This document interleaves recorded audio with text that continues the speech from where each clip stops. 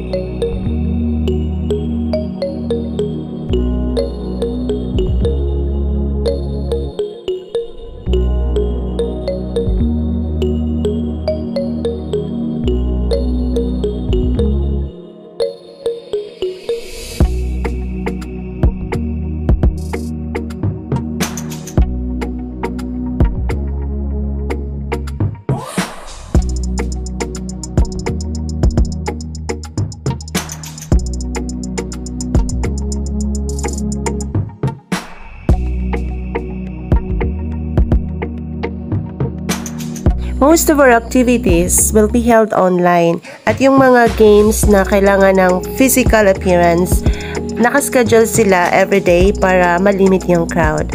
Yung mga estudyante na maglalaro, yun lang ang makapasok, walang ibang audience.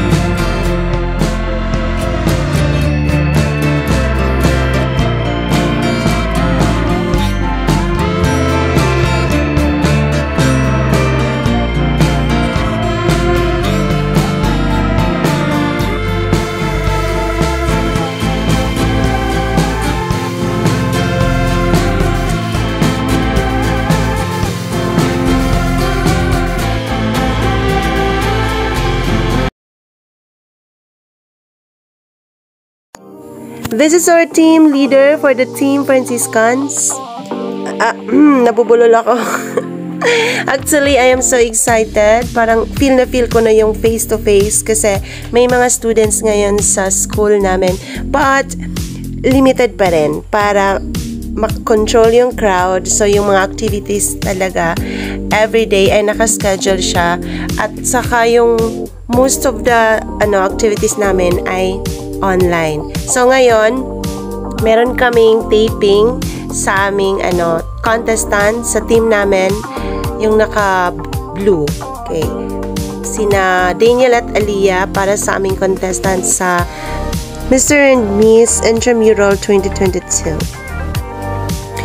We are so grateful that we have the chance to have this 2022 intramural kasi hindi namin yan nagawa last year dahil sa pandemya.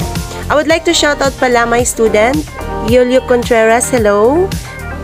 Si Julio ang may-ari ng camera na ginamit namin para sa aming taping sa talent ng aming contestants. Thank you so much, Julio.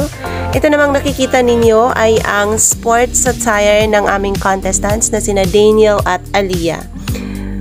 Go, go, go!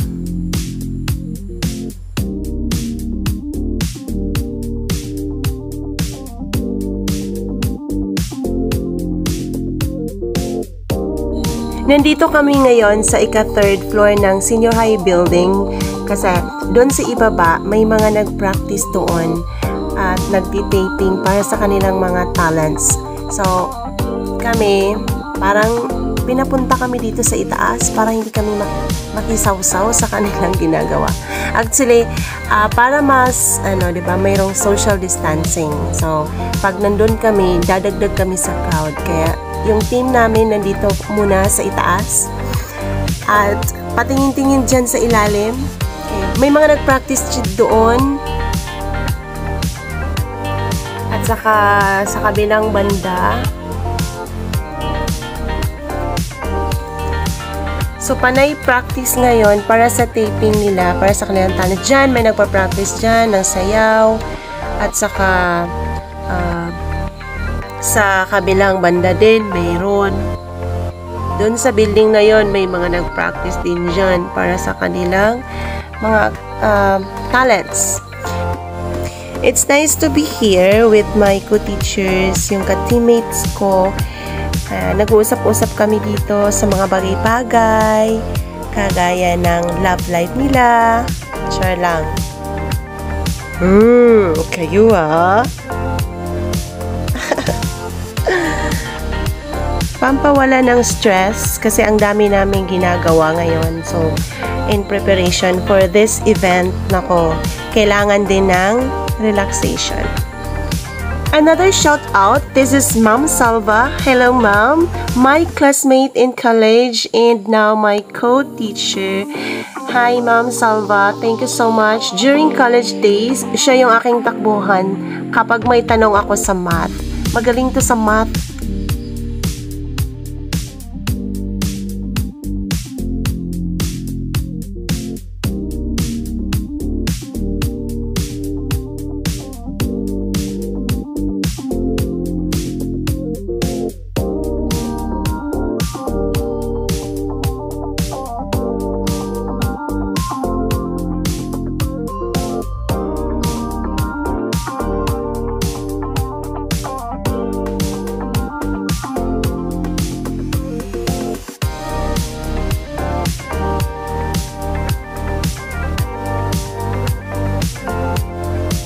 Right now, nagtitaping yung aming contestants para sa kanilang talent. Yulyo. Cute kay kagnawong. Na, oh. Kinsay crush din? Wala. Oh, wala masigyan. So, this is another team na naghahanda rin para sa kanilang taping sa, para sa kanilang talent. So as you can see, kaunti lang talaga ang mga tao dito ngayon. Hindi kagaya ng nakasanayan. Kung walang pandemya na po, punong-puno ito ng mga estudyante. Bibong-bibo. Sa ngayon, in continuation pa rin yung aming contestant sa kanilang taping. And that would be all for today. Thank you so much for watching.